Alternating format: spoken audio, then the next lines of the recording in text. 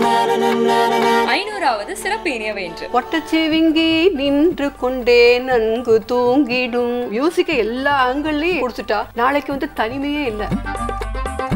இதமான இசை ஒரு மனிதனை மென்மையாக்குகிறது. நரம்பிசை கருவிகள்ல ரொம்ப பழமையானது யாழ் தான் பண்டை தமிழர்கள் பயன்படுத்தின யாழை பத்தி பல நூல்கள்ல கூறப்பட்டிருக்கு. சிறப்பு ஐநூறாவது இனியவை இன்று. நாளை காலை ஏழு முப்பதுக்கு நமது புதியுகத்தில்